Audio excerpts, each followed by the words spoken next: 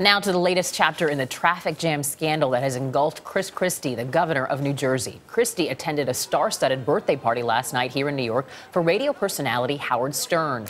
But Christie's political hot water is on a high simmer this morning, thanks to an official near the center of the controversy.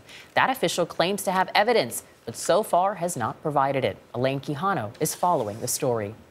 Governor Chris Christie has always denied that he knew about the lane closures leading to the George Washington Bridge that snarled traffic for four days in Fort Lee last September, either before or while they were occurring. I don't know what else to say except to tell them that I had no knowledge of this, of the planning, the execution, or anything about it.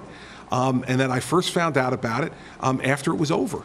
Um, and even then, what I was told was that it was a traffic study.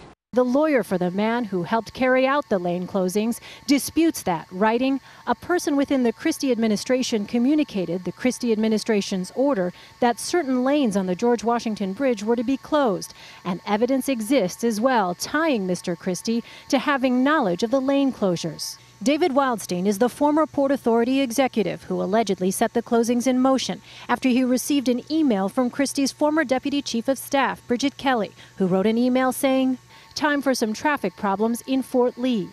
The lane closures were apparent political payback against the Fort Lee mayor for not endorsing the governor's reelection campaign.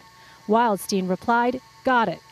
The letter went on to say Mr. Wildstein contests the accuracy of various statements that the governor made about him, and he can prove the inaccuracy of some. In a statement released late Friday, the Christie administration said Mr. Wildstein's lawyer confirms what the governor has said all along he had absolutely no prior knowledge of the lane closures before they happened, and whatever Mr. Wildstein's motivations were for closing them to begin with. For CBS This Morning Saturday, Elaine Quijano, New York.